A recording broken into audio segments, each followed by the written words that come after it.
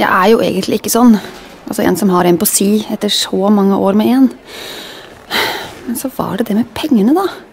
Og da jeg skjønte hvor mye det egentlig var snakk om, så var det ikke så veldig vanskelig å gjøre det slutt.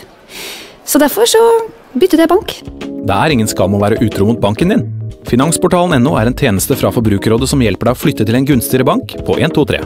Så få det gjort på finansportalen.no.